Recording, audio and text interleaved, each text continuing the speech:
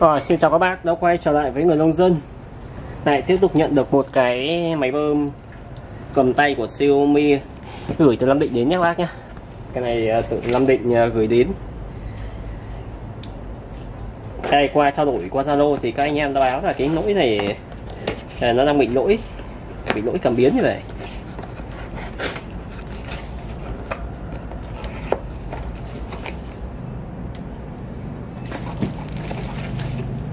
Không có gì nữa gửi mỗi cái bơm không thôi.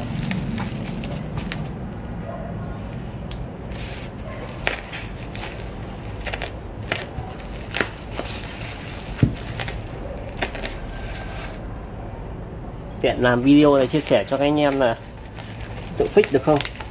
Gửi đi gửi lại thì à, nó mất công mất công, mất thời gian của đôi bên lại còn mất thêm tiền ờ, mấy ông ờ, bill nữa.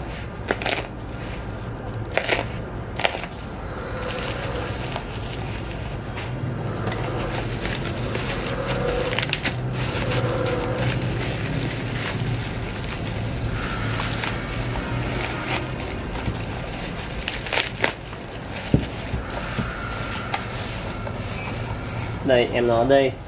Không còn cái gì nữa.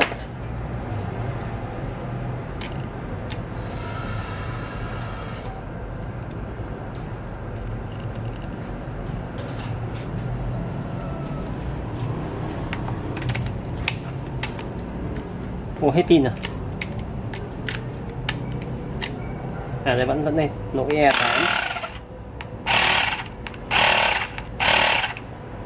E8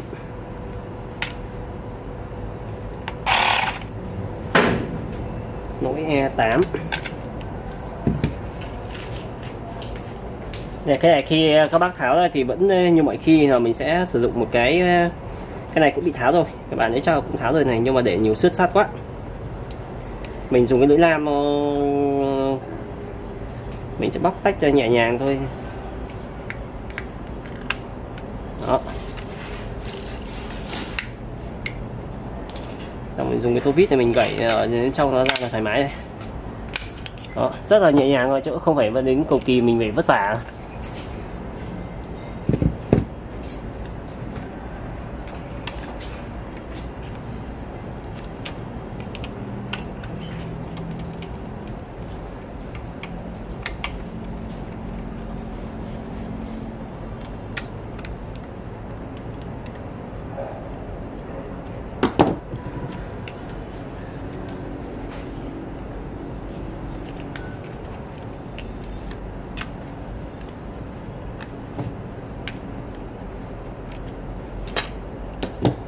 Đây, mình đẩy ra.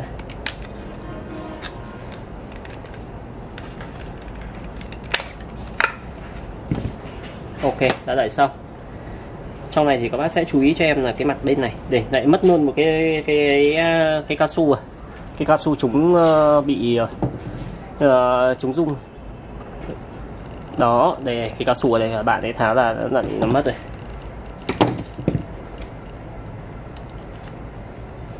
Cái lỗi E8 này nó rất hay bị liên quan đến ờ, cái lỗi E là hay liên quan đến cảm biến nhiều nhất.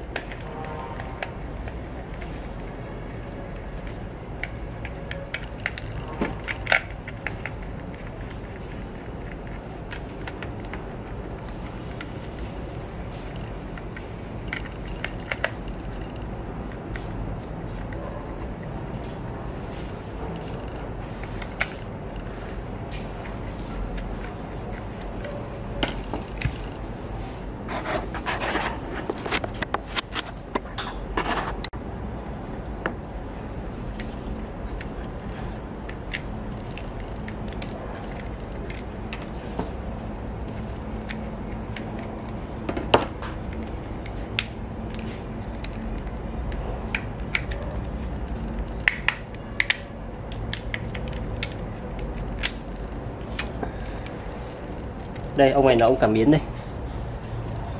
Đây cái cái, cái khu cảm biến này.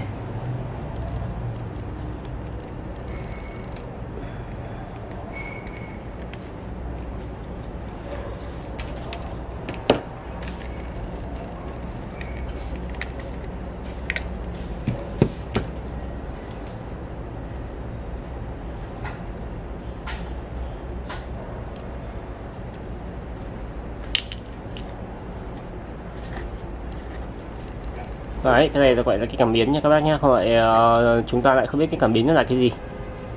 Đó.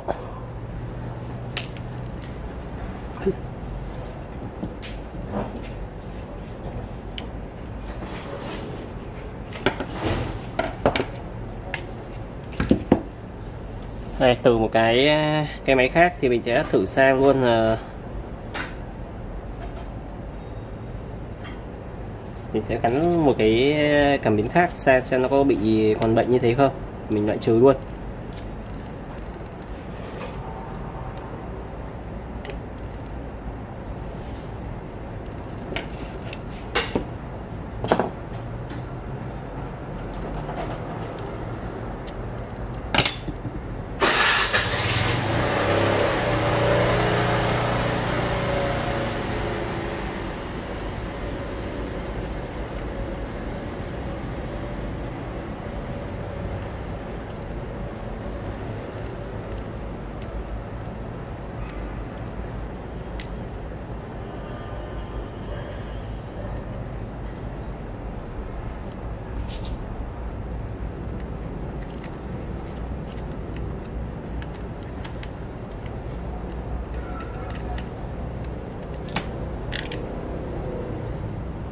Đấy, không còn lỗi E8 nữa các bác này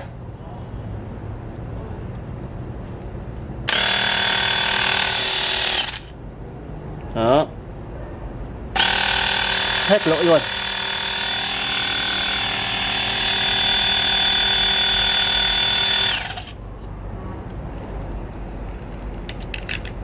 Thì ví dụ một cái, những cái dòng ờ, dạng như thế này thì các bác có thể là xử lý này, mình lau, dùng cồn mình lau hết cái cái mặt này khi nó ép không khí á, thì nó sẽ có một ờ, lượng nước nước nó sẽ đọng vào đây. Lâu ngày là nó sẽ uh, khơi đo nó không còn chuẩn nữa hoặc là mình sẽ phải thay. Cái này Đấy, rất hay bị. Thì cái này mình, mình sẽ thay thử sang thì ok rồi. Đó chắc là video này sẽ chia sẻ cho các anh em là tại sao là xử lý cái lỗi uh, e là nguyên nhân là sao bị xử lý lỗi e này là mình có xử lý được không thì nó, nó chủ yếu là nó là cái cái cảm biến này thôi ạ. Đó mình thay cảm biến này là được nhé chắc là video này người nông dân sẽ chia sẻ ờ, cho các bác uh, như thế này thôi chứ không có và thứ hai đó là đối với những cái dòng bơm này chạy một thời gian đấy thì các bác sẽ phải uh, bảo trì uh, cho em là đặc biệt là cái phần cái phần uh, um, piston này mấy hai là cái phớt này. Rất hay bị ờ, nó chạy một thời gian thì ờ, nó sẽ khô nó nóng nó khô lắm ấy.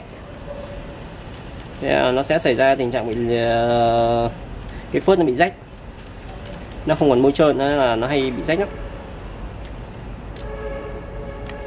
Đây, mình sẽ bôi dầu bê, bôi mỡ vào những cái bánh răng này để cho nó bon này. Tuy nó hơi bẩn một tí thôi nhưng mà nó các bác nào xem video đến đây mà chưa đăng ký kênh nhớ đăng ký đăng ký ủng hộ người nông dân nhé xin chào tạm biệt các bác. Video hôm nay là đến đây chia sẻ cho các bác để được đến đây thôi. Các bác nào mà muốn mua cái phớt của sau cái ờ, cái bơm này, bên em cũng có bán sẵn nhá. Đó. Rồi ờ, cái phần lắp lại thì em sẽ không ờ, quay nữa. Em sẽ chia sẻ như thế thôi cho các bác dễ hình dung. Xin chào, tạm biệt tất cả các bác.